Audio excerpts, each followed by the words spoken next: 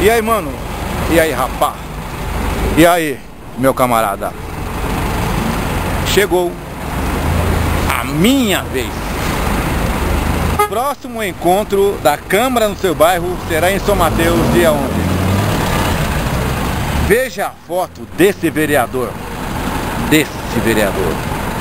O senhor está desafiado a vir a São Mateus, a ouvir o povo, a fazer o que é certo. E se o senhor não aparecer, eu vou colocar a sua foto e vou chamar o senhor de cidadão safado.